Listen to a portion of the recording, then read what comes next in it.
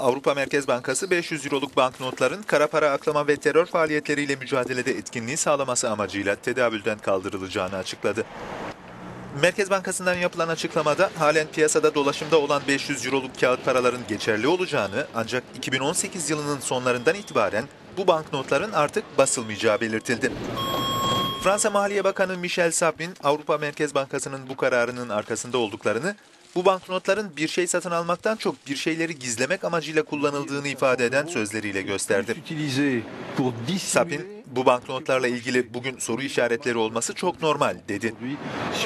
Ödemelerin %79'unun nakit kullanılarak yapıldığı tahmin edilen Almanya ise daha önce 1000 marklık banknotları kullandığı gibi bu kağıt paranın da kullanılmasından memnun. Dünyada 500 euroluk banknot dışında en yüksek değerli kağıt paralar arasında 1969 yılından bu yana basılmayan 10 bin Amerikan dolarıyla yine 10 binlik Singapur ve Brunei doları banknotları ve 1000 İsviçre frangı da bulunuyor. Avrupa Merkez Bankası istatistiklerine göre dolaşımdaki toplam euro miktarının %3'ü 500 euroluk kağıt paralardan oluşuyor. Bir araştırmaya göre Avrupa Birliği vatandaşlarının %56'sı bu banknotları hiç kullanmamış.